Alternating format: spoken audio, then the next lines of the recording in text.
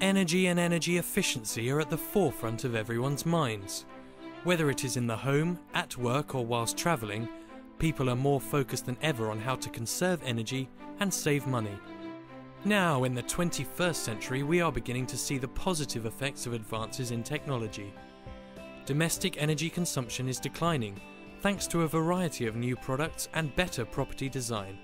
New LCD televisions, energy saving light bulbs, and better draft proofing have meant that energy is now used more efficiently in the home. However, we can all relate to the increasing demand for products that use energy. Mobile phones charging, games consoles, and dishwashers are now commonplace. The UK government's targets to reduce our uh, CO2 emissions by 80% by the year 2050 are some of the most ambitious targets out in the world at the moment. And as a nation, I think we're extremely aware of the fact that we need to start doing something. But also looking at the schemes and initiatives that are out there to help people be more energy efficient. Uh, so the grants that are available, the feed-in tariffs that are available for um, electricity generation. These are the kind of innovative things that in the UK we're doing um, that other countries might not quite be as, um, as advanced as we are. So I think we're, we're well on track. But it's about taking it further and further every single time. And, and again, I can't stress that, that that is the responsibility of everybody to get involved if we're going to start meeting those targets. The Energy Saving Trust is a non profit organisation that provides free and impartial advice on how to stop wasting energy and start saving money.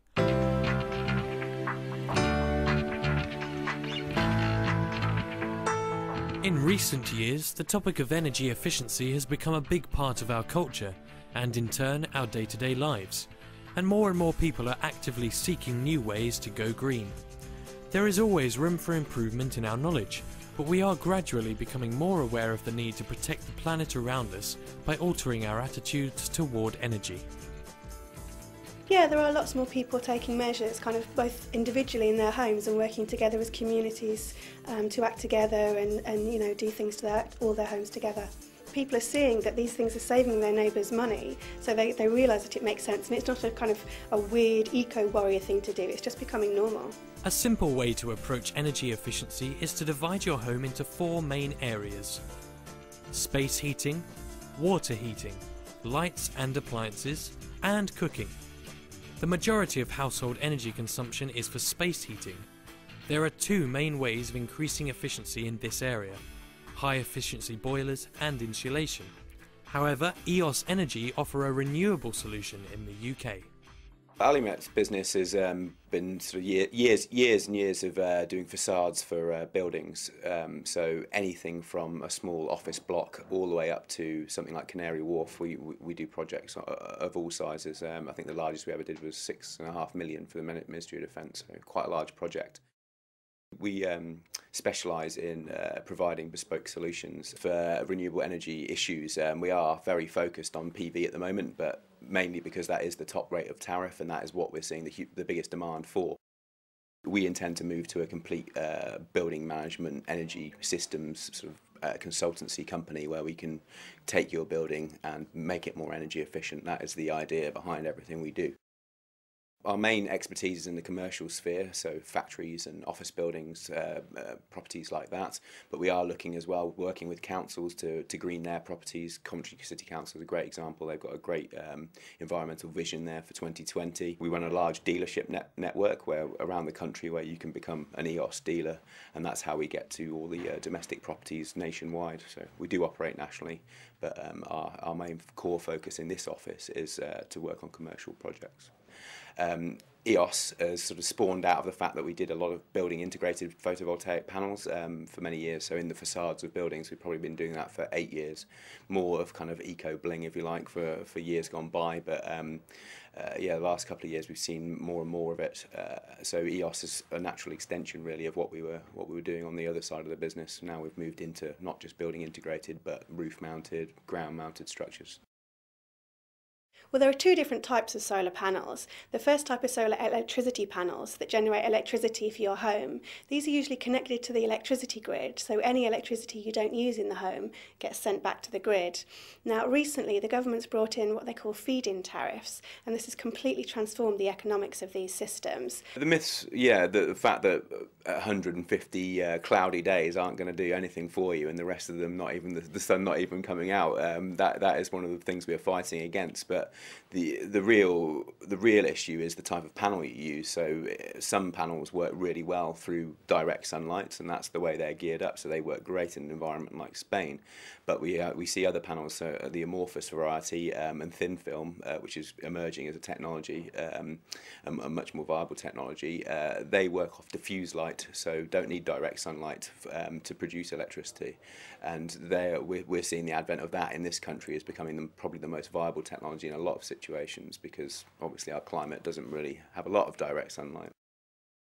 I think if you uh, run a busy household with large electricity uh, needs, then there's something you should look at at the moment because if you're in in the day, um, which many people are, um, then it can be it can be a great uh, a great way to balance out your electricity demand. Um, also, for many years, it was probably well, PV was seen as a, a, very difficult and inaccessible technology just because of cost, because of lack of skills in the country, because of all, all sorts of different um, different variables. But now, because of the feed-in tariff, it, it, has become accessible to people, and um, you can work on a kind of a pay pay as you save uh, scheme. So, say you pay, say it's a ten thousand pound system, you borrow the ten thousand pounds and then pay that loan back against your feed-in feed-in tariff payments. Um, so that's that's for, for one set of people. But if you have your own money, you've got about 10 grand knocking around at the moment. And also the fact that uh, it is do, it is doing your bit for for um, greening our economy um, and creating green jobs in the UK. Focusing on each of the four main areas of domestic energy use, we can see big improvements that can be made as well as small lifestyle changes that will help. The best option will often be a fix and forget solution, something that saves you money while you relax at home. The photovoltaic system offered by EOS Energy is an example of fix and forget in action. Photovoltaic panels, in theory, should be permitted development on a residential dwelling, but if you are in a conservation area or in a grade listed building, then there are problems that are involved there with, as there would be with anything. So changing the tiles on it, changing the paint on it, eh, those problems are, are ever present. But it, it, it, seems to me that planners are becoming more and more um, keyed into it. Really, they're, more and more educated, um, and a lot of these older older dwellings are actually allowing these uh, photovoltaic panels to go through um, and, be passed through planning. So I think um, the education is definitely there. The first point of call is to probably look on the MCS register, the Microgeneration Certification Scheme register, which um, you can find online. And every single uh, installer that's accredited under that scheme will be, can be found on there. Um, there'll be either local ones, there's a few national ones such as EOS, um, which might be able to help you out. Um, but that is your first port of call. And then once you've done that, get the guys round. Um, they'll normally uh, set a date with you to say, okay, we can come and survey your property. Um, they'll look at your property, assess whether it's viable, um, assess your electrical uh, setup that you have there already, and see whether it needs upgrading because that is that can be an issue. Um, because a lot of old, sort of old housing stock which um, doesn't really comply with regulations um, today, so that can be a, a, sort of hidden cost you've got to be aware of. Um, but yeah, once you've got them around, they surveyed the place. They normally have a quote out to you within a week or, or something like that, depending on their workload. Um, and then from there on in, you can there, uh, there are a number of options. So some companies are offering free PV at the moment, where they take they, they install for free and then take the feed-in tariff themselves. Um, there's a financing option, um, so you could probably get finance through your bank, potentially like a soft loan or something like that, or you can finance it yourself. Um, and then selection of, of products should be either done um, on best value, uh, on whether you want the greenest product, so potentially from from the small amount of uh, UK producers that there are, um, and or whatever the guy's got in stock at the moment. You know, there's there's many options out there. Um, so you've gone through that process. The guys uh, the guys have come in and fitted you uh, fitted your PV panels. Then hopefully they'll do the paperwork for you, which gets sent off to the uh, district net- network operator, and within potentially three months, I think is the backlog at the moment. Um, you could be receiving feed-in tariff payments, but hopefully from day one you should be saving money. The amount of energy consumed in the home is affected by two main factors demand and efficiency. Over the last 20 years, there has been a 15% increase in demand and a 20% increase in efficiency. The latest statistics suggest that the housing sector in the UK is, year on year, becoming 2% more efficient. V-Phase are at the forefront of a new technology that makes electrical products more efficient. V-Phase is a technology company that developed an innovative technology that lowers and regulates the incoming voltage into the house. Um, what it does is actually saves electricity, saves money, and reduces the carbon emissions from the house. Reducing energy consumption to V-phase is very important, it's what the product is, is all about. V-phase is actually suitable for most households in the UK. It takes the incoming voltage in the UK, which is typically around 245 volts, lowers it to what we have as our default setting of 220 volts, and the thing is, in the UK, since the early 90s, all appliances um, and electrical equipment have had to work across the EU range of voltage. So it's as low as 207 volts and as high as 253 volts. So by lowering it to 220 volts, we're still well within the, the manufacturer's safeguard limits. So it'll work fine, you'll save money. You know, it's, it's a no-brainer really when you think about it. It goes next to the fuse box as well, so it's, it's either under the stairs or in a cupboard or in the garage somewhere. And the beauty of the product is that it's a, a fit and forget solution. Requires no maintenance, so once it's installed, it just goes on silently saving money for the homeowner. We actually provide a five-year warranty, so with the cost being under £250, you're typically expecting payback periods of under five years, so it makes it a risk-free investment as well. It's, it's all about reducing wastage.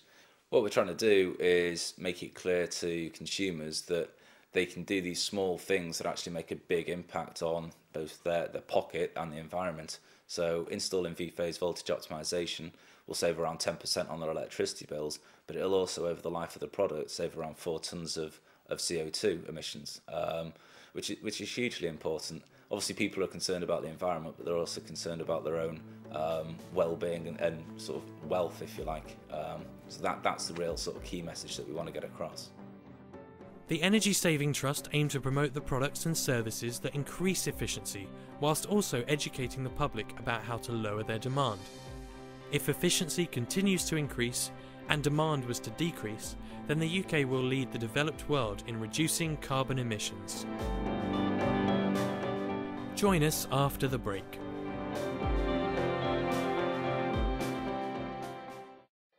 Through our dedicated national dealership network, EOS Energy provides high-quality renewable energy solutions.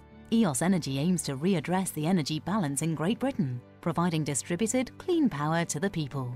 Providing the complete package is where EOS Energy aims to beat the rest. We specialise in providing solutions that remove all concern for the customer, Utilising state-of-the-art photovoltaic or solar systems, EOS Energy design, supply and install turnkey solutions for generating electricity. We tailor our solutions to best suit our commercial and domestic clients' power requirements. As a supplier of fully accredited equipment, we take customer service very seriously. All of our panels carry a 25-year performance guarantee, and the rest of our systems are backed by the most comprehensive guarantees in the industry. To discuss your requirements or to become part of our dedicated dealer network,